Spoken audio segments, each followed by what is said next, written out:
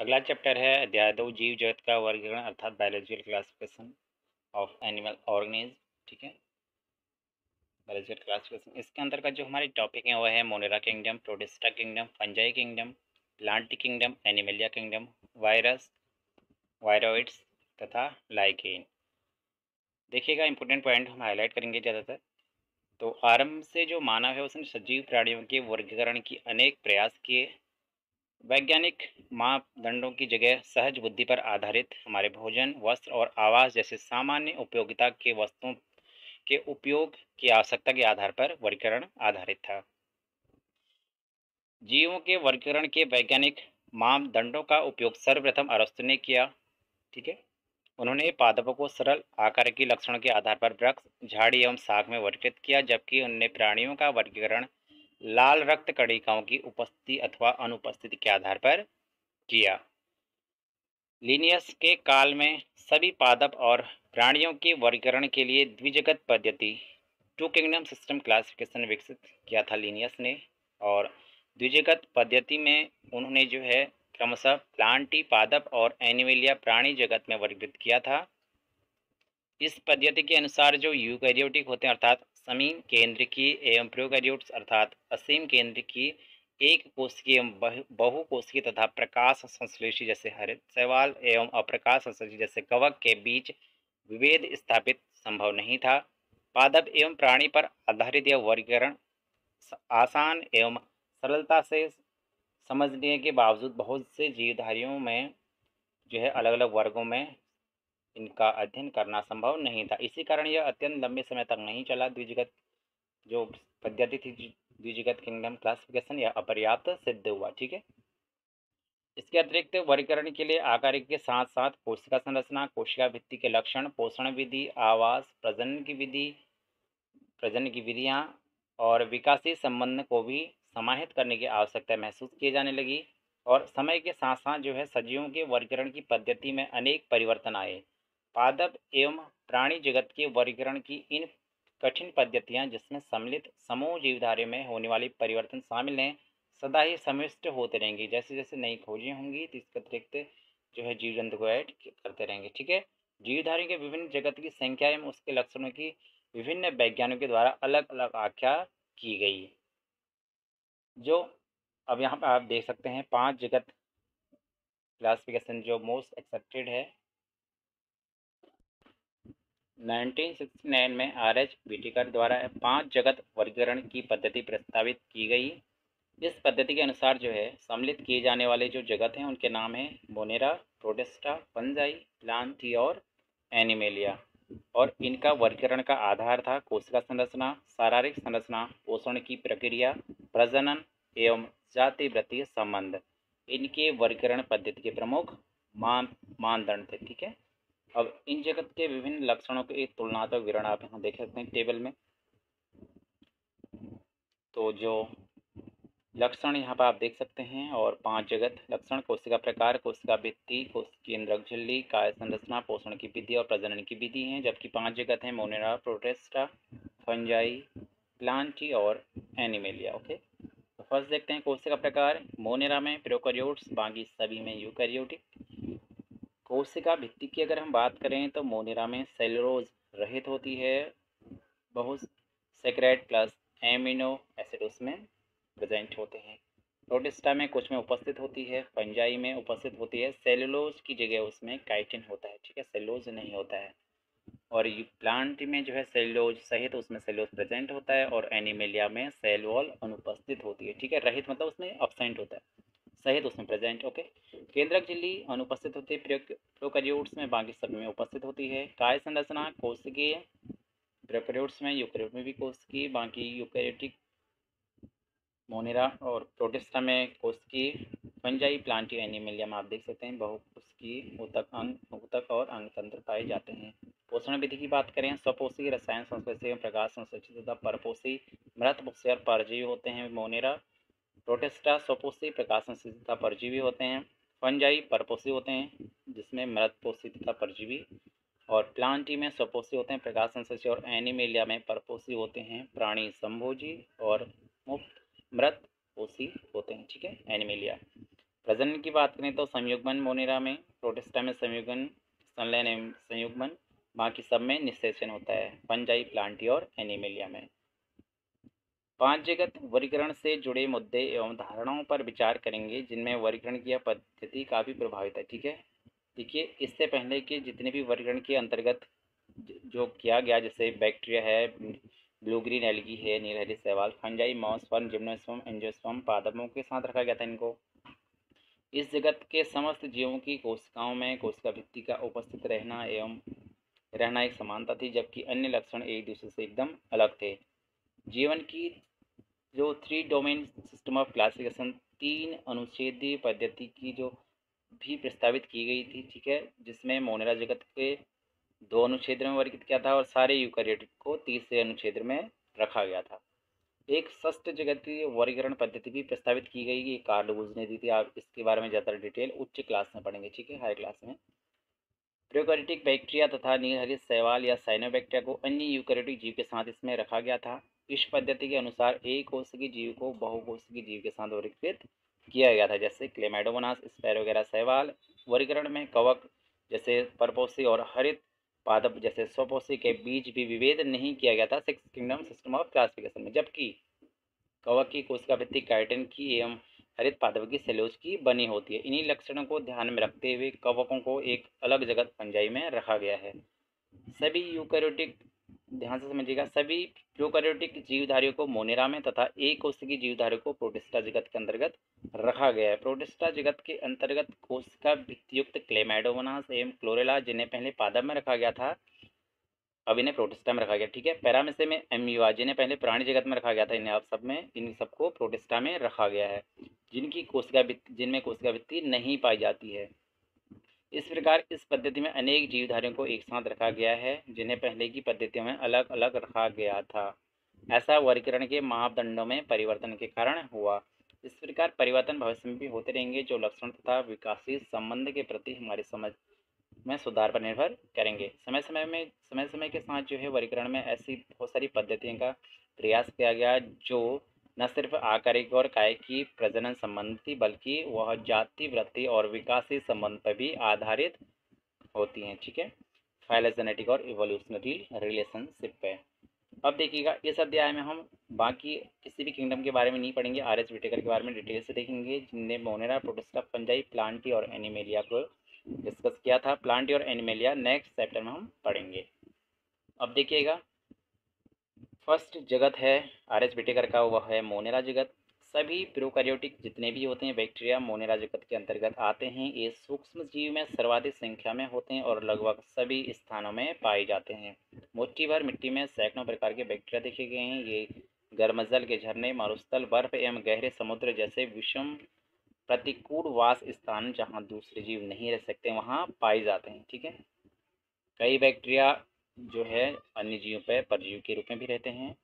Bacteria को उनके आकार के आधार पर चार समूहों में बांटा गया है। गोलाकार कोकस, बहुवचन इसमें कोकाई कहेंगे। छड़ाकार बेसिलस, बहुवचन बेसिलाई। कौमा आकार के, वाइब्रो आकार के, जिसे बहुवचन विब्रिया तथा सर्पिला आकार जिसे स्पेरिलम कहा जाता है। ठीक है, आप यहाँ देख सकते हैं जो बोनेरा जगत के अंतर्गत बैक्टीरिया आते हैं, उनको चार आकार के आधार चार भागों में विभाजित किया गया। कौन कौन से? Cocci round bacillus rod shaped spiral spiral shaped और विब्रो, कॉमा सेप्ड ओके? विभिन्न प्रकार के बैक्टीरिया आप देख सकते हैं। इनकी संरचना के आधार पर। आगे देखते हैं। संरचना में जो बैक्टीरिया होते हैं, अत्यंत सरल प्रतीत होते हैं, लेकिन इनका व्यवहार अत्यंत जटिल होता है, ठीक है? इनमें जो चयपचय या उपापचय की दृष्टि से अन्य जीवधारियों की तुलना में बैक्टीरिया में बहुत सारी विविधताएँ पाई जाती हैं, ठीक है? बहुत सारी डाइवर्सिटी पाई जाती है। उदाहरण के लिए अपना भोजन अकार्बनिक पदार्थ से भी ये बना लेते हैं और प्रकाश संश्लेषण में स्वपोषी होते हैं और रसायन संश्लेषी में स्वपोषी होते हैं। अर्थात ये अपना भोजन स्वयं संश्लेषित करते हैं। अगर प्रकाश संश्लेषण में होता है तो अगर नहीं होगा तो ये रसायन का यूज़ करके अपना भोजन नहीं भी बनाते हैं। अपितु तो भोजन के लिए अन्य जीवधारियों एवं मृत कार्बनिक पदार्थ पर भी निर्भर रहते हैं। ठीक है? आज अगला देखते हैं जो बैक्टीरिया का टाइप है, वह आदि बैक्टीरिया, अर्थात आर की बैक्टीरिया से हम कहेंगे आदि बैक्टीरिया, यह विशिष्ट प्रकार के बैक्टीरिया होते हैं। अत्यंत कठिन वास स्थानों में रहते हैं, जैसे लवणीय क्षेत्र, हेलियोफाइल, गर्म क्षेत्र थर्मोस्टोफिल और कच्छ क्षेत्र मैथनेजन में पाए जाते हैं। जो आर की बैक्टीरिया होते हैं, आदि बैक्टीरिया या अन्य बैक्टीरियाओं की कोशिका भित्ति की संरचना में भिन्नता के कारण जो है, एक दूसरे से अलग हैं। आर के बैक्टीरिया यू बैक्टीरिया, ठीक है, यही लक्षण इन्हें प्रतिकूल अवस्थाओं में जीवित रहने के लिए उत्तरदायी बनाता है। मैथ्रोजन मैथनोजन अनेक रूमिनेंट जुगाली करने वाले जो जीव होते हैं, गाय तथा भैंस, इनकी आंत में पाया जाता है और ओवर से मीथेन गैस का उत्पादन करता है।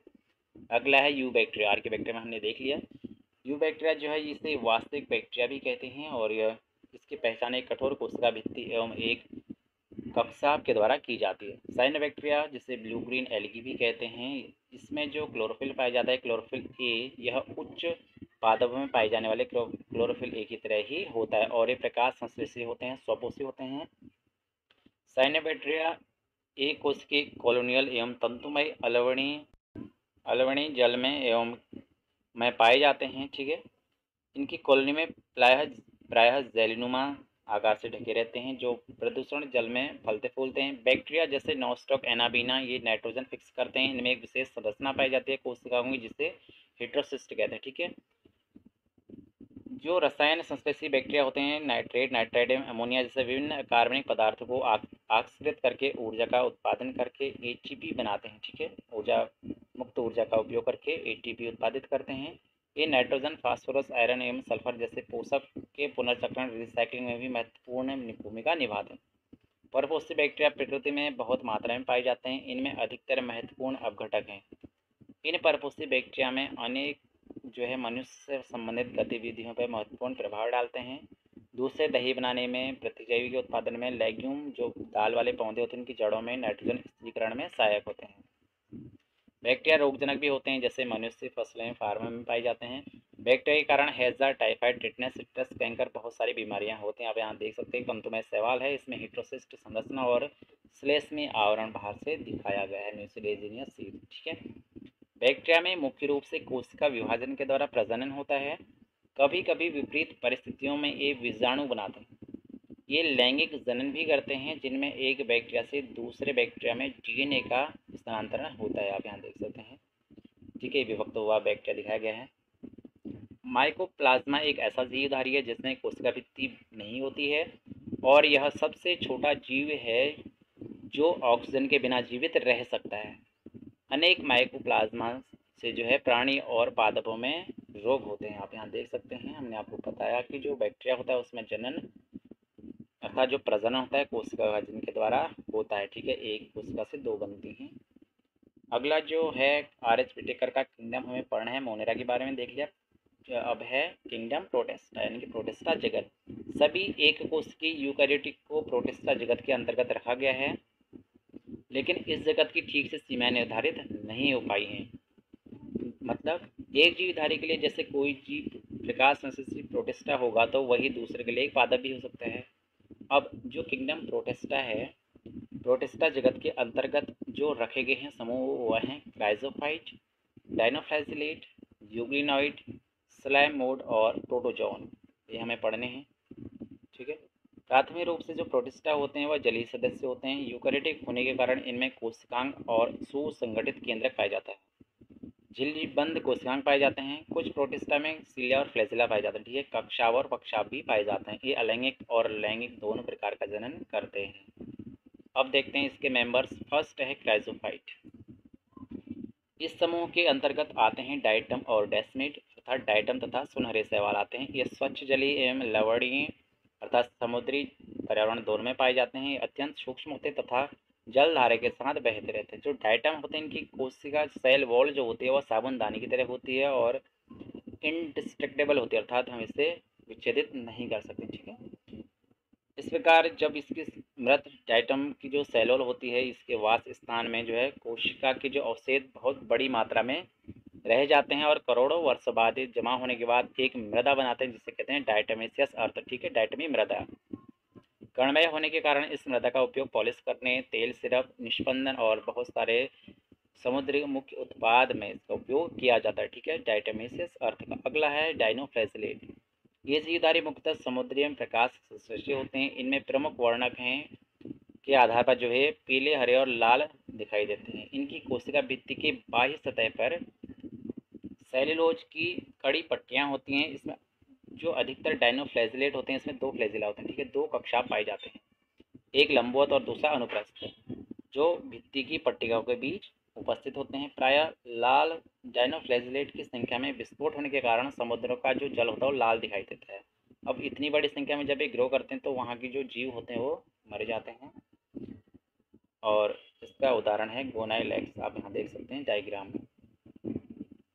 अगला है यूग्लिनॉइज अधिकांश इसमें जो जीव आते हैं, वह स्वच्छ जल में पाए जाते हैं और स्थिर जल में भी पाए जाते हैं। इनकी कोशिका भित्ति की जगह एक प्रोटीन युक्त पदार्थ होता है, पेलिकल कहते हैं जिसे, और इसकी संरचना को लचीला बनाता है। दो इसमें कक्षा पाए जाते हैं, जिनमें एक छोटा और दूसरा लंबा होता है। यद्यपि सूर्य के प्रकाश की उपस्थिति में प्रकाश संश्लेषण करते हैं, और अगर नहीं है तो प्रकाश तो यह सूक्ष्म जीवों का शिकार करके परपोषी की तरह व्यवहार करते हैं।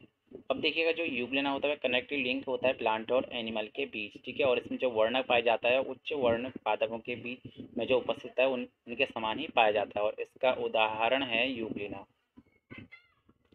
अगला है स्लैम मोड जिसे हम कहते हैं अपवंग अवपंग कवक, ठीक है? अवपंग कवक जो है मृतपोषी प्रोटिस्टा हैं। यह सड़ती हुई टहनियों तथा पत्तियों के साथ गति करते हुए जैविक पदार्थ का भक्षण करते हैं। अनुकूल परिस्थितियों में यह समूह बनाते हैं। जिसे क्या कहते हैं? प्लाज्मोडियम, जो कई फीट तक लंबा हो सकता है। और अगर प्रतिकूल परिस्थिति में है तो ये बिखर कर सिरों पर बीजाणुयुक्त फलनकार फ्रूटिंग बॉडी बनाते हैं और इन बीजाणुओं का परिक्षेपण वायु के साथ होते रहता है। अगला है जो प्रोटिस्टा का मेंबर है, वह है प्रोटोजो। ठीक है? प्रोटोजोआ जो, अब यहाँ देख सकते हैं प्रोटोजोन। अभी हम इसके बारे में देखेंगे। डायनोफ्लेजिलल ल्यूग्लिन स्लाइमोड हमने देखा। पैरामिस में आप यहाँ डायग्राम में देखते रहिएगा। अगला है प्रोटोजोआ जो प्रोटोजोआ होते हैं परपोषी होते हैं, परभक्षी अथवा परजीवी के रूप में ये रहते हैं। प्राणियों के पुरातन संबंध है इनका, और जो प्रोटोजोआ होते हैं चार समूह में बांटा गया। अगेन ध्यान से देखिएगा कौन कौन से? अमीबॉइड फ्लैजिलेटेड सिलिएटेड और स्पोरोजोन फ़र्स्ट है वी प्रोटोजोआ ये स्वच्छ जलीय समुद्री एवं मृदा में पाए जाते हैं। ऊटपात की सहायता से अपना शिकार पकड़ते हैं और सतह पे जो है इन पे सिलिका पाया जाता है इनकी, ठीक है? इनमें से कुछ एंटामीबा पैरासाइट की तरह कार्य करते हैं। अगला है कक्साबी प्रोटोजोआ। समूह के सदस्य स्वस्थंद अथवा परजीवी होते हैं, ठीक है? इनके शरीर पर कक्षा पाए जाते हैं, सीलिया, ठीक है? परजीवी कक्षाप जो है प्रोटोजोआ बीमारी के कारण होता है। कक्षा भी प्रोटोजोआ के कारण होता है, जिसे निद्रालु व्याधि नामक कहते हैं, और इसका एग्ज़ाम्पल है ट्रिपेनोशोमा। नेक्स्ट है, पक्साबी प्रोटोजोआ फ्लैजिलेटेड प्रोटोजोआ। ये जलीय और अत्यंत सक्रिय गति वाले जीव होते हैं। हज़ारों की संख्या में इसमें फ्लैजिला पाए जाते हैं और इसमें एक गुहा होती है जिससे खाना खाते हैं, ठीक है, जिसे गलेट कहते हैं। इसका एग्ज़ाम्पल है पैरामेसियम नेक्स्ट है स्पोरोजोन। इसमें विविध जीव आते हैं, ठीक है, जिनका जीवन चक्र में संक्रमण करने योग्य बीजाणु जैसी अवस्थाएँ पाई जाती हैं। सबसे विख्यात या कुख्यात इसमें जो बीमारी होती है वह प्लाज्मोडियम के द्वारा होती है, जिसे जो मलेरिया परजीवी है, ठीक है, जिसके कारण मानव प्रजाति में बहुत संख्या में आघात पहुँचता है, ठीक है। अगला किंगडम है किंगडम फंजाई, ठीक है, कवक जगत। जो कवक जगत है, इसमें परपोषी जीवों में जो है फंजाई इनकी कवक का विशेष अद्भुत स्थान है। इसके आकार की तथा वास स्थान में बहुत भिन्नता होती हैं। ये जो है नम रोटी व सड़े हुए फलों में देखा, आपने देखा होगा इनको कवक को, ठीक है? जो सामने छत्रक जैसे मशरूम तथा कुकुरमुत्ता जिसे टोड स्टूल कहते हैं, ये भी फंजाई ही हैं। सरसों की पत्तियों पर स्थित सफ़ेद धब्बे परजीवी फंजाई के कारण होते हैं। कुछ एक कोश की फंजाई जैसे ईस्ट, ठीक है? ईस्ट जो है, एक कोश की फंजाई होता है और जिसका उपयोग रोटी तथा बियर बनाने में किया जाता है। अन्य फंजाई पौधों तथा जंतुओं के रोगों के कारक होते हैं। उदाहरण के लिए जो गेहूँ में किट रोग होता है, वह पक्ष नियम के कारण होता है। कुछ फंजाई जैसे पेनिसिलिन से प्रतिजैविक यानी कि एंटीबायोटिक्स का निर्माण किया जाता है। ठीक है? फंजाई विश्वव्यापी होते हैं, अर्थात यह हर जगह पूरी दुनिया में पाए जाते हैं, जैसे कि हवा, जल, मिट्टी तथा जंतु एवं पौधों पर ही पाए जाते हैं। ये गर्म तथा नम स्थानों पर सरलता से उग जाते हैं। ठीक है? क्या आपने कभी सोचा कि जो खाना होता है, यानी कि भोजन, उसे रेफ्रिजरेटर, यानी कि फ्रीज में क्यों रखते हैं? देखिए, क्योंकि जो बैक्टीरिया अथवा जो फंजाई होते हैं, सूक्ष्म जीव, वे कम तापमान पर वृद्धि नहीं कर पाते हैं, इसलिए जो है खाना खराब नहीं होता है और उसे फ्रीज में रखते हैं, ठीक है? फंजाई तंतुमय होते हैं, लेकिन जो ईस्ट होता है, वह एक कोशिकीय होता है, वह इसका एक्सेप्शन है अपवाद है। ये लंबी, पतली, धागीनुमा संरचनाएँ होती हैं इनमें, जिन्हें जो है कवक तंतु या हाइफी कहते हैं। कवक तंतु के जाल को माइसिलियम कहा जाता है, ठीक है? कवक जाल। कुछ कवक तंतु सतत नलिकाकार होते हैं, जिनमें बहु केंद्र की कोशिका द्रव्य साइटोप्लाज्म भरा होता है, जिन्हें संकोशिकी कवक तंतु या सीनोसिटिक हाइफी कहा जाता है, ओके? अन्य कवक तंतु में पट्टी होती हैं, फंजाई की कोशिका भित्ति में काइटिन तथा पॉलीसैकेराइड होता है। बहुत इंपॉर्टेंट ध्यान से समझिएगा, जो फंजाई होता है उसकी कोशिका भित्ति में काइटिन और पॉक, वह जो है, जो फंजाई होता है उसकी सेल वॉल कोशिका भित्ति काइटिन और पॉलीसेक्राइड की बनी होती है, ठीक है? अधिकांश फंजाई परपोषी होते हैं, ये मृतपोषी जो मृत सब्सटेंस होते हैं, पदार्थ, उनमें से घुलनशील अकार्बनिक पदार्थों को अवशोषित करते हैं, इसलिए इन्हें मृतजीवी भी कहा जाता है। जो फंजाई सजीव पौधों तथा जंतु पर निर्भर करते हैं, उन्हें पैरासाइट तथा परजीवी कहते हैं। ये जो है, शैवाल तथा लाइकिन के साथ और उच्च वर्गीय पौधों के साथ जो है संबंध बनाते हैं, अर्थात जो फंजाई होते हैं वह शैवाल के साथ मिलकर लाइकिन का निर्माण करते हैं और उच्च वर्गीय पौधों की जड़ों के साथ मिलकर जो है कवक मूल बनाते हैं, ठीक है? जिसे और ऐसे फंजाई को कहा जाता है सहजीवी फंजाई सिम्बायोटिक फंगस। फंजाई में जनन, कायिक, खंडन, विखंडन तथा मुकुलन विधि द्वारा होता है, अलैंगिक जनन, बीजाणु जैसे कोनुडिया कहते हैं, इनके द्वारा होता है, अथवा धानी बीजाणु अथवा चल बीजाणु द्वारा इनमें अलैंगिक जनन होता है, ठीक है? अब देखिए, जो लैंगिक जनन होता है, वह निश्चितांड यानी ऊस्पोर्स कहते हैं इनके द्वारा और एस्करिस बीजाणु तथा बेसडियम बीजाणु द्वारा होता है। विभिन्न बीजाणु सुस्पष्ट संरचनाओं में उत्पन्न होते हैं, जिन्हें फलन का या फ्रूटिंग बॉडी कहा जाता है। लैंगिक चक्र में निम्नलिखित तीन सोपान होते हैं। नंबर एक कौन कौन सा देखिएगा? प्लाज्मोगेमी, कैरियोगेमी और मियोसिस पहला दो चल अथवा अचल युग्मकों के प्रोटोप्लाज्म का संलयन होता है। इस क्रिया को प्लाज्मोगेमी कहते हैं। दो संक्रेदियों का संलयन होने, होना जिसे केंद्रक संलयन या न्यूक्लियर फ्यूजन कहते हैं, जबकि अगला है युग्मकों में मियोसिस के कारण अगुणित बीजाणु बनते हैं। अलैंगिक जनन में संयोज संगम के दौरान दो अगुणित कवक तंतु आपस में पास पास आते हैं और संलयित फ्यूज हो जाते हैं, ठीक है? में मिल जाते हैं। कुछ फंजाई में दो अगुणित कोशिकाओं में संलयन के तुरंत बाद जो है एक द्विगुणित कोशिका बन जाती है। ओके? यद्यपि जैसे फंजाई एस्कमास्टीज में एक मध्यवर्ती केंद्र की अवस्था एन प्लस एन अर्थात एक कोशिका में दो केंद्रक बनते हैं, ऐसी परिस्थिति को केंद्रक युग्मन कहते हैं। ठीक है? दो अलग अलग हाइफी का केंद्र आपस में मिलना, केंद्रक का मिलना, इसे कहते हैं केंद्रक युग्मन। इस अवस्था को केंद्रक में द्विकेंद्र की प्रवस्था भी कहते हैं, क्योंकि उसमें दो केंद्रक पाए जाते हैं, ठीक है? बाद में पैतरक केंद्रक संलयन हो जाते हैं और कोशिका द्विगुणित बन जाती है। फंजाई जो है, उसमें फंजाई में फ्रूटिंग बॉडी अर्थात उसमें फलनकाय बनाती हैं, जिन्हें न्यूनीकरण विभाजन होता है, अर्थात जो फ्रूटिंग बॉडी होती है, उसमें रिडक्शन डिवीज़न या मियोसिस होती है, जिनके फलस्वरूप अगुणित बीजाणु बनते हैं। कवक जाल की आकार की बीजाणु बनने की तथा फलनकाय बनने की विधि जगत को जो है विभिन्न वर्गों में व्यक्त करने का आधार बना, अर्थात जो उसकी फ्रूटिंग बॉडी है, उसकी संरचना है, कवक जाल है, इन सब के आधार पर जो किंगडम फंजाई है उससे विभाजित किया गया है निम्नलिखित वर्गों में। पहला है फाइकोमास्टिज ध्यान से समझिएगा। जो फाइकोमास्टिज है, इसमें जितने भी मेंबर्स आते होते हैं, जलीय आवास में, सड़ी गली, लकड़ी, नम तथा सीलन भरे स्थानों अथवा पौधों पर अविकल्पी परजीवी के रूप में पाए जाते हैं। कवक जाल जो है अप, अपटीय एसेप्टेड बहुत इंपॉर्टेंट है, जो फाइकोमास्टिज होता है, इसका जो जो हाइफी होता है, अर्थात जो इसका माइसिलियम होता है कवक जाल, ठीक है? वह क्या होता है? एसेप्टेड और सीनोसिटिक अर्थात अपटिकी तथा बहुकेंद्रकीय होता है। बाकी सब में पट्टिकीय होता है, ठीक है? अपटिकीय और बहुकेंद्रकीय इसमें कवक जाल होता है, अलैंगिक जनन, जल बीजाणु, अर्थात अथवा अचल बीजाणु द्वारा होता है, ये बीजाणु धानी में अंतर्जातीय होते हैं, ठीक है? अंतर्जातीय इनका उत्पन्न होता है होता है।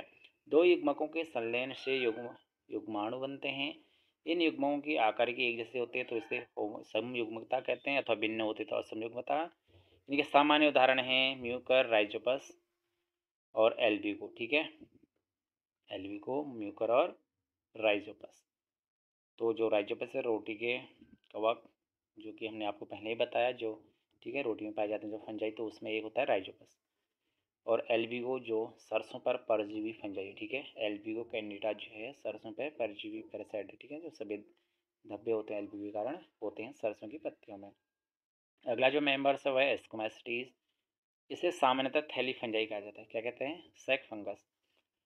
ये जो है एस्कोमास्टीज इसमें एक कोष की, ईस्ट सेक्रोमासीज के अलावा बहु बहुकोष की पेनिसिलियन इसमें पाए जाते हैं। और ये मृत जीवी अब अवघटन, अवघटक, परजीवी अथवा सलभ राग यानी कि पशु विष्टा गोबर खाने वाले में उगने वाले जो हैं, होते हैं, ठीक है, गोबर में उगने वाले पशु विष्टा में। तो कवक जो है इसमें, कवक जाल, इसमें जाल साकित तथा पट्टिकीय होता है।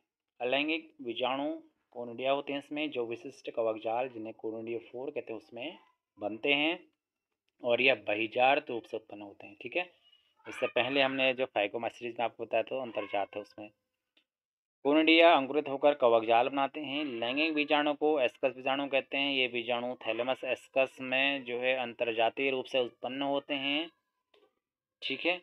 ये एस्कस एक वचन में एसआई को जो है, एक वचन में एस्कस कहते हैं, विभिन्न प्रकार की फैलनका यानी कि फ्रूटिंग बॉडी में लगे होते हैं, जिन्हें एस्को कार्प कहा जाता है, ठीक है?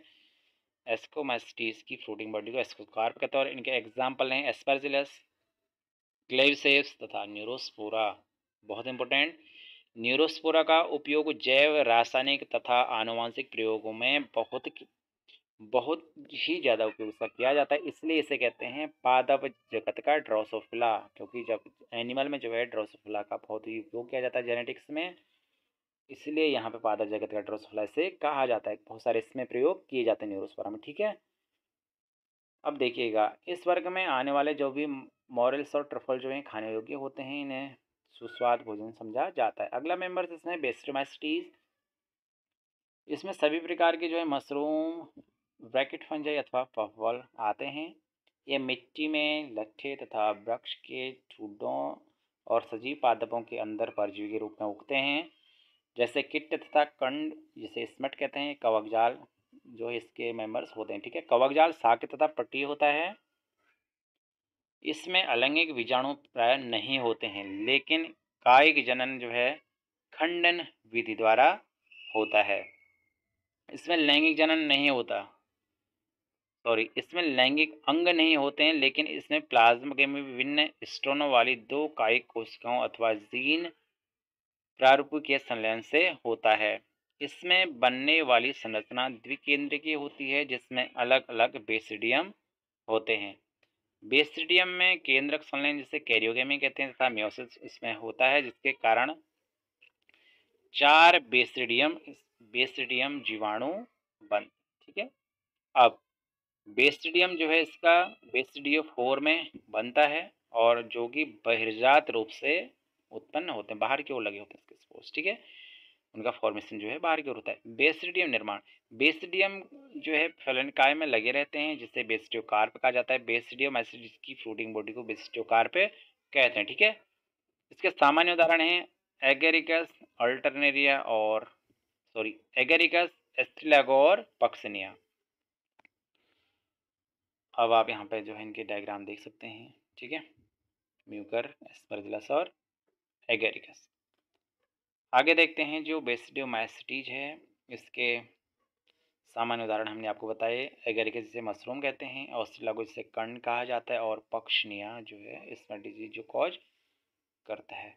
अगला मेंबर्स है वह है जुटोमास्टीज इसे प्राय अपूर्ण कवक कहते हैं। क्यों? क्योंकि इसकी, इसमें जो है केवल अलैंगिक अथवा कायिक जनन प्रावस्था पाई जाती है, जबकि इन फंजाई की लैंगिक प्रावस्था की खोज अगर हो जाती है तो कभी इन्हें जो है उचित वर्ग में रखा जाएगा। ठीक है? यह भी संभव है कि अलैंगिक तथा लैंगिक प्रावस्थाओं को एक नाम दे दिया हो, जिसे जुटोमास्टीज भी कहा जाता है, क्योंकि इसमें लैंगिक प्रावस्था तो पाई नहीं जाती है। ठीक है, जैसे ही इसकी लैंगिक प्रावस्था के बारे में पता चलेगा तो उसे एक उचित वर्ग में रख दिया जाएगा, ठीक है? जो ज्यूट्रोमाइस्टीज होता है, वर्ग फंजाई का, उसमें जो सदस्य होते हैं, उनमें उचित लैंगिक प्रावस्था का पता लग जाए तो उसे एस्कोमाइस्टीज या बेसिडियोमाइस्टीज बेसिडियोमाइस्टीज में सम्मिलित कर दिया जाएगा। कहने का मतलब ये है कि जो ड्यूटोमाइस्टीज है जिसमें लैंगिक प्रावस्था नहीं पाई जाती, ठीक है? लैंगिक जनन नहीं होता है। जो ड्यूटोमाइस्टीज होता है, उसमें केवल अलैंगिक बीजाणु जिन्हें कोनुडिया कहते हैं, इसके द्वारा जनन होता है। इसमें कवक जाल जो है पट्टिकी तथा साखित होता है। इसमें कुछ सदस्य मृत जीवी अर्थात मरे हुए जो सड़े गले होते हैं, उनमें पाए जाते हैं, अथवा परजीवी, अर्थात किसी लिविंग पर जीवित जीव जंतु पर पाए जाते हैं। लेकिन इसमें जो अधिकांश सदस्य होते हैं, वो अवशिष्ट अपशिष्ट के अपघटक, यानी कि डिकम्पोजर होते हैं और खनिज के रिसाइकलिंग यानी कि चक्रण में सहायता करते हैं और इसके एग्ज़ाम्पल हैं अल्टरनेरिया पॉलिटोट्रैकोमा और ट्राइकोडर्मा कैट ठीक है?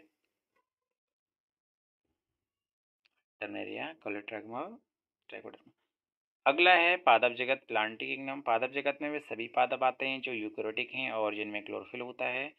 ऐसे जीवों को पादप कहते हैं। इनमें कुछ पादप जैसे कीटवक्सी और परजीवी आंशिक रूप से विषम विषमपोषी होते हैं, जैसे ब्लैडर वर्ड और वीनस फ़्लाइट ट्रैप की कीटवक्सी पौधे हैं। हमारे बेल कसकटा परजीवी का उदाहरण है। पादप कोशिका में कोशिका भित्ति होती है जो जो है सेलोज से बनी होती है और इसके बारे में डिटेल हम पढ़ेंगे चैप्टर थ्री में, ठीक है?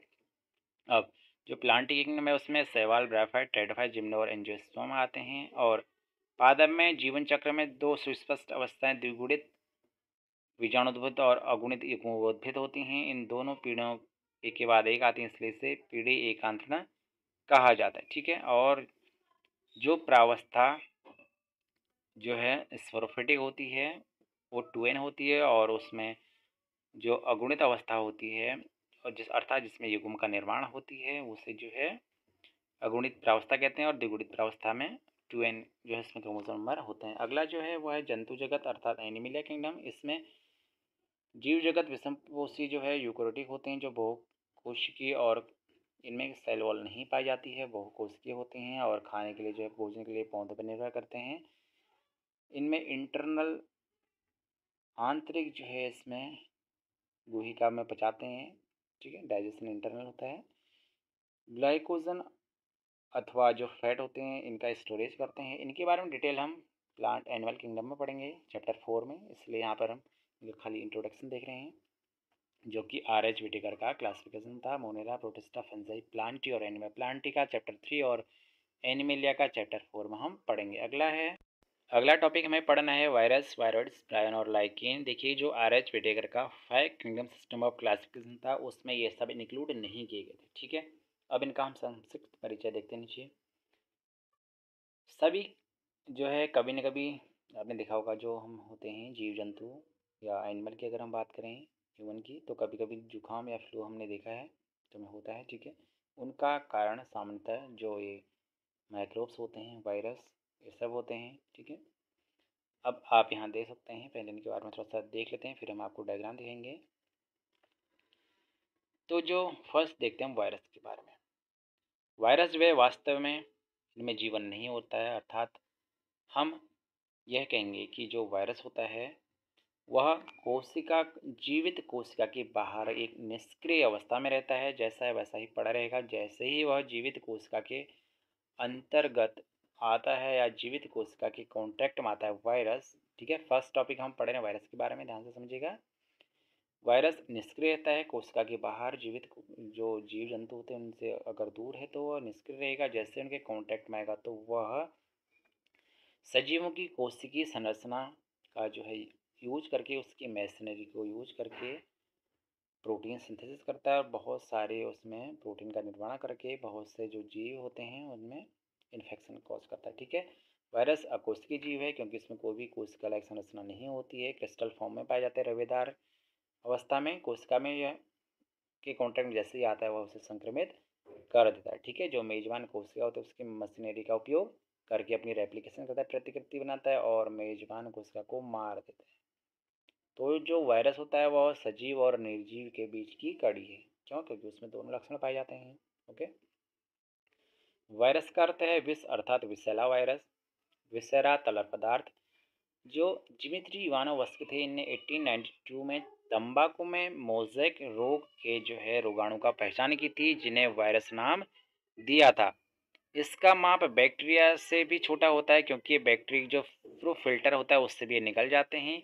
W M M W Beijerinck ने जो है पाया कि जो संक्रमित तंबाकू के पौधों का रस अगर स्वस्थ तंबाकू के पौधों में डाला जाए तो उसे भी वह संक्रमित करने में सक्षम होता है।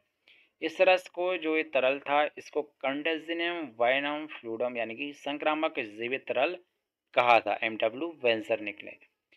एम अब डब्ल्यू एम स्टैन ने 1935 ने बताया कि जो वायरस को क्रिस्टलाइज किया जा सकता है और इसे रवे मुख्यतः जो है प्रोटीन के बने होते हैं, ठीक है? ये अपनी विशिष्ट मेज़बान कोशिका के बाहर निष्क्रिय रहते हैं, वायरस जो है अविकल्पी परजीवी है। इसका कोई विकल्प नहीं है, अर्थात जब ये जीव जीव जंतु के कॉन्टैक्ट में आएगा, तभी अपना कार्य कर पाएगा। वायरस में प्रोटीन के अतिरिक्त आनुवंशिक पदार्थ भी होते हैं, जो आरएनए अथवा डीएनए हो सकते हैं। किसी भी वायरस में आरएनए तथा डीएनए दोनों नहीं होते ठीक है? वायरस केंद्रक प्रोटीन, जिससे न्यूक्लियर प्रोटीन और इसका आनुवंशिक पदार्थ संक्रामक करता है। सभी पादप वायरस में एक लड़ी वाला आरएनए होता है, सिंगल स्टैंडर्ड आरएनए, जबकि सभी जंतु वायरस में एक अथवा दोहरी स्टैंड वाला या लड़ी वाला आरएनए अथवा डीएनए होगा और किसी में भी दोनों नहीं पाए जाते हैं।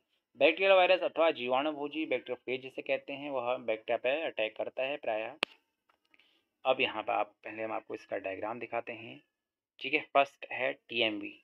टोबैको मोजेक वायरस ठीक है, जो तंबाकू में मोजेक डिज़ीज़ कॉज करता है। दूसरा है जीवाणुभुजी बैक्टीरियाफेज ये बैक्टीरियाफेज होता क्या यही एक वायरस है जो बैक्टीरिया को खाता है, ठीक है? बैक्टीरिया पे अटैक करता है, इसीलिए इसे क्या कहते हैं? जीवाणु भोजी ठीक है? और ये वायरस होता है, ठीक है? जीवाणु यानी कि बैक्टीरिया नहीं होता है ये वायरस होता है। और अब आप देख सकते हैं, जो टीएमजी होता है, बाहर इसका कैप्सिड होता है प्रोटीन कोट को इसका कैप्सिड कहते हैं, अंदर है इसका एक कुंडलित आप देख सकते हैं आरएनए ठीक है? और दूसरी ओर जो फ़ेज़ था बैक्टीरिया बैक्टोफेज उसमें भी बाहर से प्रोटीन कोड होता है और अंदर होता है उसमें आनुवंशिक पदार्थ। अब प्रोटीन के आवरण को जो है कैप्सिड कहा जाता है वायरस के और यह छोटी छोटी उप इकाइयों से बना होता है, जिसे कैप्सोमियर कहते हैं, ठीक है? पेटी कोशक से मिलकर बना होता है। कैप्सिड न्यूक्लिक एसिड को संरक्षित करता है, ये पेटिकांग्स कुंडलित अथवा बहुफलक जामिति के रूप में होते हैं, कुंडलित होते हैं अंदर, ठीक है? वायरस से जो है मम्स चेचक हर्फीस तथा इन्फ्लुएंजा नामक रोग होते हैं। मनुष्य में एड्स भी वायरस के कारण ही होता है। अब आप कमेंट बॉक्स में बताएँगे कि जो मनुष्य में एड्स होता है, कौन से वायरस के कारण होता है? पौधों में मोजेक बनना, पत्तियों का मुड़ना तथा कुंचन पीला होना और सिरा स्पष्ट बोना तथा अवरुद्ध वृद्धि का होना इसके प्रमुख लक्षण हैं। अगला टॉपिक है वायरॉइड्स जो आर एच विटेकर के क्लासिफिकेशन में इंक्लूड नहीं था, सम्मिलित नहीं था, ठीक है? सन 1971 में टियो डायरर ने एक नया संक्रामक कारक की खोज की, जो वायरस से भी छोटा था, जिस, जो जो है पोटेटो स्पेंडल ट्यूबर डिज़ीज़ आलू में जो है पोटेटो स्पेंडल डिज़ीज़ को कॉज करता था। वायरॉइड्स में आरएनए तथा प्रोटीन आवरण, जो वायरस में पाया जाता है, उसका अभाव होता है, ठीक है? इसमें आरएनए तो होता है, लेकिन प्रोटीन का आवरण नहीं होता है। इसलिए यह वायरस का नाम दिया गया है। वायरस के आरएनए का आणविक भार कम होता है। सारे लाइन, सारे शब्द इंपॉर्टेंट हैं तो ध्यान से समझिएगा। ठीक, अगला है प्रायोन्स प्रोसंग से कहते हैं। आधुनिक चिकित्सकों ने कुछ संक्रामक न्यूरोलॉजिकल बीमारियाँ जो है, असामान्य रूप से फोल्ड प्रोटीन वाले कारक द्वारा जो प्रेषित होती हैं, इन्हें देखा था। इन कारकों का आकार वायरस के समान ही था। इन कारों को जो है प्रोसंग कहा जाता है, ठीक है? प्राणियों में होने वाले सबसे उल्लेखनीय बीमारी जो है वोवाइन स्पंजीफोन एनसेफेलोपैथी जिसे आमतौर पर मवेशियों में मैटिका रोग कहा जाता है, यह होता है प्राणियों में, ठीक है?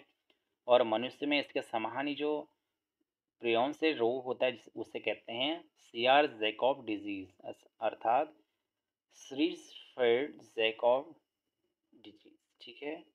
अब, वायरस में आरएनए और प्रोटीन दोनों पाए जाते हैं। वायरोइड्स में केवल आरएनए पाया जाता है, प्रोटीन का कोड नहीं पाया जाता और प्रयोन्स में प्रोटीन पाया जाता है, आरएनए नहीं पाया जाता। ठीक है, अगला है लाइकेन।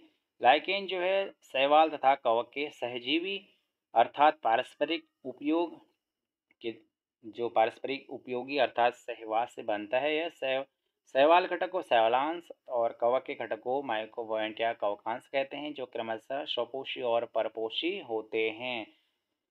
शैवाल जो है, कवक अर्थात फंजाई के लिए भोजन संश्लेषित करता है और जो कवक शैवाल के लिए आश्रय देता है तथा खनिज और जल का अवशोषण करता है। इस शहवान यह इनका जो सहवास होता है, इतना घनिष्ठ होता है कि यदि अगर प्रकृति में लाइकेन को देख ले तो आप बता नहीं सकते कौन सा भाग जो है सहवालांश और कौन सा कवकांश। ठीक है? और जो लाइकिन होता है, वह प्रदूषण का बहुत अच्छा संकेतक होता है, अर्थात ये प्रदूषित क्षेत्र में नहीं उगते हैं। तो हमारा चैप्टर कंप्लीट हुआ यहाँ पे।